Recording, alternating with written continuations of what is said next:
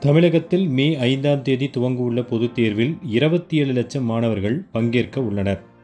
பத்தாம் வகுப்புக்கு நாலாயிரம் ப்ளஸ் டூவுக்கு மூவாயிரம் என மொத்தம் ஏழாயிரம் மையங்கள் அமைக்கப்படுவதாக பள்ளிக் கல்வித்துறை அறிவித்துள்ளது.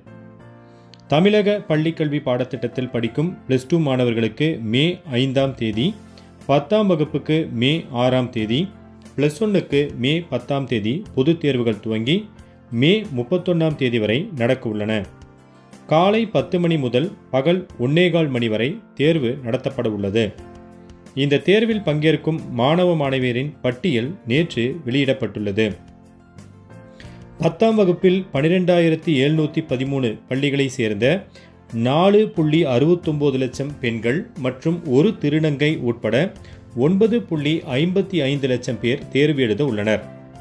பிளஸ் டூவில் ஏழாயிரத்தி ஐநூற்றி ஆறு பள்ளிகளை சேர்ந்த நாலு புள்ளி முப்பத்தொம்போது லட்சம் பெண்கள் உட்பட எட்டு புள்ளி முப்பத்தி ஏழு லட்சம் பேர் பிளஸ் ஒன்னில் ஏழாயிரத்தி ஐநூற்றி முப்பத்தி நான்கு பள்ளிகளை சேர்ந்த இரண்டு திருநங்கையர் நாலு புள்ளி ஐம்பது லட்சம் பெண்கள் உட்பட எட்டு புள்ளி எண்பத்தி நான்கு லட்சம் பேரும் பொதுத் தேர்வு எழுதியுள்ளனர். தனித்தேர்வர்களை பொறுத்தவரை பத்தாம் வகுப்பில் முப்பதாயிரத்தி எட்நூற்றி தொண்ணூறு ப்ளஸ் டூவில் இருபத்தி எட்டாயிரத்தி முன்னூற்றி எண்பது ப்ளஸ் ஒன்னில் ஐயாயிரத்தி எழுநூற்றி பதினேழு பேர் என மொத்தம் அறுபத்தி நான்காயிரத்தி தொள்ளாயிரத்தி எண்பத்தி ஏழு பேர் பொதுத் தேர்வை எழுதவுள்ளனர் சிறைகளில் உள்ள நானூற்றி பதிமூணு கைதிகளும் பொதுத் தேர்வு எழுதவுள்ளனர் அவர்களில் இருநூற்றி நாற்பத்தி ரெண்டு பேர் பத்தாம் வகுப்பு எழுபத்தி மூன்று பேர் ப்ளஸ் டூ தொண்ணூற்றி எட்டு பேர் ப்ளஸ் ஒன் தேர்வுகளில் பங்கேற்க உள்ளனர்.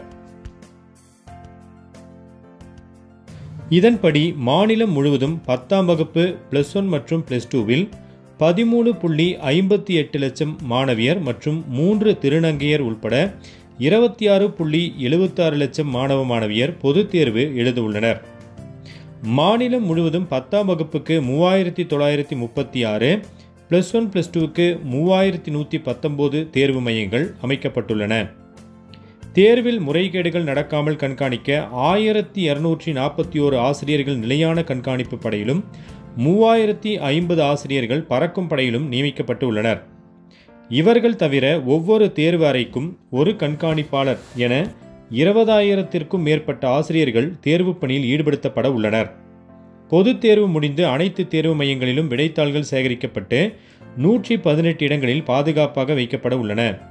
தேர்வுக்கு பின் பத்தாம் வகுப்புக்கு எண்பத்தாறு மையங்களிலும் பிளஸ் ஒன் பிளஸ் டூவுக்கு தலா எண்பது மையங்களிலும் விடைத்தாள்கள் திருத்தப்பட உள்ளன. பத்தாம் வகுப்புக்கு ஜூன் பதினேழு பிளஸ் டூவுக்கு ஜூன் இருபத்தி மூன்று பிளஸ் ஒன்னிற்கு ஜூலை ஏழாம் தேதி தேர்வு முடிவுகளை வெளியிட அரசு தேர்வுத்துறை திட்டமிட்டு உள்ளது. நன்றி வணக்கம்.